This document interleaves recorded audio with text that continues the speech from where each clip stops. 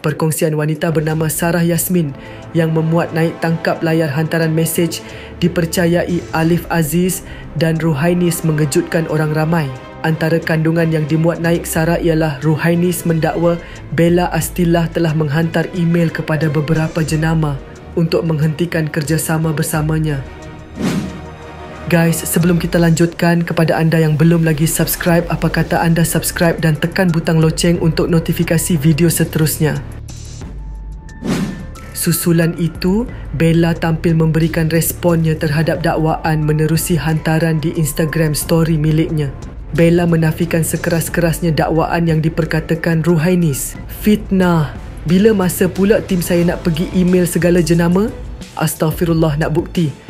Bella dia juga tidak menyangka pemikiran Ruhaini sebegitu teruk sehinggakan sanggup untuk memfitnahnya selepas kemelut yang berlaku antara mereka. Macam mana boleh terfikir idea untuk fitnah sampai ke tahap ini Ruhainis?